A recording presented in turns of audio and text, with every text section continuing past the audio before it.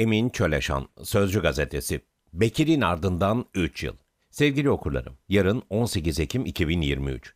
Bekir Coşkun'un aramızdan ayrılışının 3. yıl dönümü. Demek 3 yıl onsuz geçmiş. Benim sevgili arkadaşım, can yoldaşım, sırdaşım.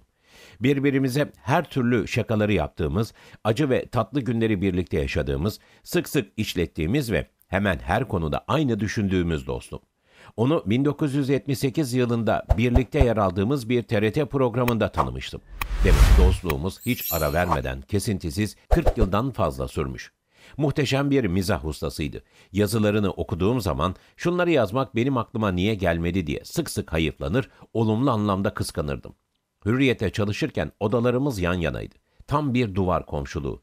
Sonra ben kovuldum. Bir süre sonra o da kovuldu ve sözcüye geldi. Burada da yine gerçek anlamda duvar komşusu olmuştuk. Odalarımız yan yanaydı. Konuşmalarımız genelde şöyle başlardı. Hey George, versene borç. Şimdi size onun nasıl bir yürekli adam olduğunu bir kez daha anlatayım. Yıl 2007. AKP iktidarı bütün medya kuruluşlarına baskı yapıyor, devşirmeye çalışıyor. O baskılara ben de birebir muhatap oluyorum. Gazete yönetiminden sık sık uyarılar geliyor. Dikkatli yaz, iktidara fazla bindiriyorsun. Senin yüzünden sürekli azar işitiyoruz. Hürriyette suyumun yavaş yavaş kaynadığını hissediyorum. Ve günün birinde Ağustos 2007'de beni kovmak zorunda kaldılar. Bu olanlara Bekir de çok bozulmuştu. Ama ben öyle kolay pes edecek biri değildim. Elimde bilgiler, notlar ve belgeler vardı. Oturup bir kitap yazdım. Yaşadığım rezaletlerle birlikte baskıları anlattım. Kovulduk ey halkım unutma bizim.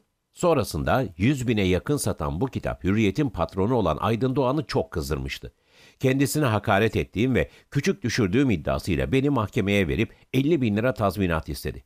İyi de yazdıklarımın tümünün doğru olduğunu mahkemede nasıl kanıtlayacaktım? Tanıklar falan göstermek gerekiyordu. Kitapta anlattığım olayları birebir bilenlerin tamamı hürriyet çalışanlarıydı ve onlardan tanık olmalarını isteyemezdim. Derhal kovulurlardı. Benim kovulmamdan iki gün sonra Bekir'in 16 Ağustos 2007 tarihli Hürriyet'te çıkan yazısının başlığı kürek mahkumlarıydı ve şöyle diyordu. Biz bir kayıktaydık. Kürek arkadaşımı dalgalar aldı. Emin Çöleşan artık yok. Ne yapmalıyım? Asılsam mı küreklere yoksa vaz mı geçsem kürek çekmekten? Söyleyin dostlar, ne yapmalıyım? Ben gitmiştim. Henüz hürriyette yazmakta olan Bekir aradı. Arkadaş, bu davada sen beni tanık göster. Bütün bildiklerimi mahkemede anlatacağım. İyi de Bekir, benim lehime tanıklık yaparsan seni de kovarlar. Ben her şeyi göze aldım. Ve mahkemede tanık olarak ifade verdi. Bütün gerçekleri anlattı. Kitapta anlatılan her şeyin doğru ve gerçek olduğunu söyledi. Mahkeme Aydın Doğan'ın açtığı davayı reddetti. Karar Yargıtay'da onanıp kesinleşti. Yazdığım her şeyin doğru olduğu yargı tarafından da böylece belgelenmiş oldu. Urfalı Bekir böylesine mert, yürekli adamdı ve derhal kovuldu. Urfalı Bekir, Açık Deniz Tekne Kaptanlığı ehliyetini Ankara'da Eymir Gölü'nde almayı başaran sevgili arkadaşım. En büyük zevki olarak Ayvalık Cunda Adası'nda edindiği teknesiyle denizlere açılan, günün birinde rotasını şaşırıp yanlışlıkla karşıdaki Midilli Adası'na bodoslama toslayan acemi kaptan. Gerçek bir hayvansever. Günün birinde sevgili köpeği Paco hastalanmıştı. Kurtulma ümidi yoktu. Bekir'i karalar bağlıyordu. Gazeteye geliş gidişleri aksamış, gözlerinin çevresi sıkıntıdan morarmıştı. Onu ilk kez böyle görüyordum. Peki ne olacaktı? Elden gelen bir şey yoktu. Sonra kafama takıldı. Paco ölünce acısını nasıl paylaşmalı? Ona acaba ne demeliydim? Bilenlere sordum. Allah rahmet eylesin denmez. Başın sağ olsun desen olur dediler. Ben de öyle dedim.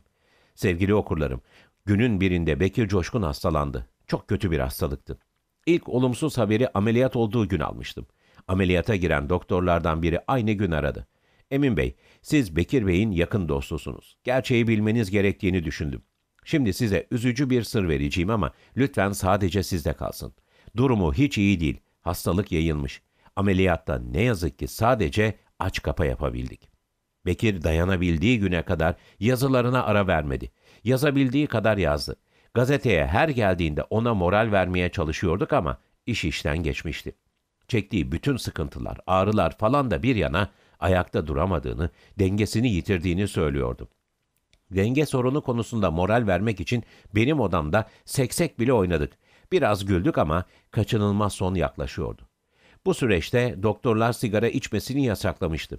Eşi Andre'nin korkusundan sigara paketi taşıması ve hele içmesi mümkün olmuyordu. Gazeteye her gelişinde benden sigara isterdi. Versem bir türlü, vermesem bir türlü. George, ver bir tane daha. Al ama bak bu son. Başka isteme. Ne yalan söyleyeyim, hep verdim. Karşılıklı içerdik. Ölümünden çok kısa süre önce son söyleşiyi Oda TV'de Makbule Cengiz'e vermişti. Bazen diyorum ki iyi ki hasta olmuşum. Bir şarkı var ya hani, ben yoruldum hayat, gelme üstüme. Gözümden, gönlümden düşen düşene. Ne kadar doğru bir lafmış. Çevremden döküldü insanlar. Bu gitti dediler. Bir an baktım çevreme, şoklar geçirdim. En yakın bildiğim dostlar kayboldular. Ama gerçek dostlarımı o zaman anladım. Bunların başında Emin Çöleşan gelir. Soner Yalçın, Uğur Dündar, Rahmi Turan ve Sözcü gazetesi bana inanılmaz destek verdiler. Şimdi Emin'in değeri benim yanımda bu hastalık öncesinden kat kat fazla. Güçten düşmüş, morali sıfırlanmıştı.